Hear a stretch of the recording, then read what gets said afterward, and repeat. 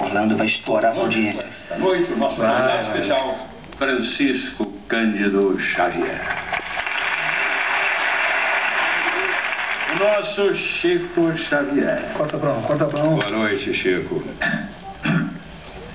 Estamos sensibilizados com as palavras do nosso querido apresentador, Orlando, você viu a peruquinha dele? capazes de corresponder às expectativas de programa de tão alto gabarito, mas me coloco aqui sob o amparo de nossos amigos espirituais.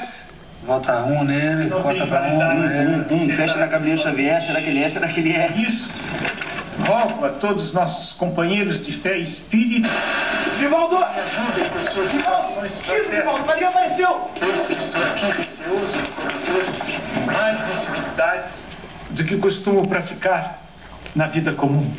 Chico, eu gostaria de saber como você define a sua vida. Sacrifício, desconfiança, pra dois. compreensão. Tanta gente passou por momentos sofridos que seria pretensioso me achar perseguido, incompreendido. Então é uma vida de doação. Eu vou tomar a liberdade de utilizar palavras diferentes daquelas da nobre repórter.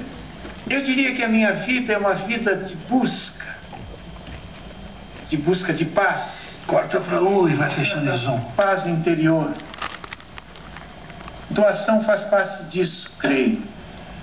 Afinal, acho que posso dizer que ajudo os outros desde pequeno.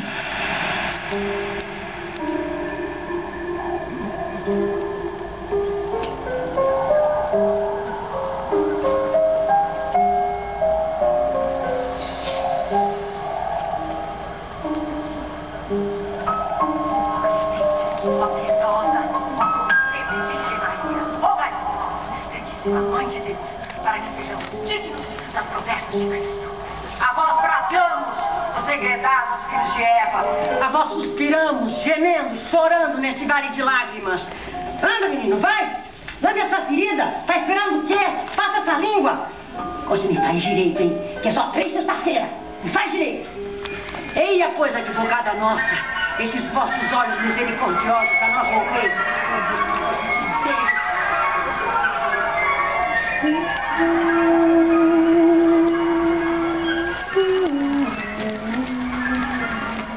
Que nojo! Você faz bem de sua madrinha. A humildade é uma virtude fútil. Foi essa dona circo que mandou, uai. Não é dona de circo, é benzedeira. Foi ela que receitou. Mas sua madrinha é quem manda. Pensa que já já ele tá bom e termina esse tormento. Pois então minha linda quer de circo? Não. Nem uma coisa, nem outra. Que tá te incomodando?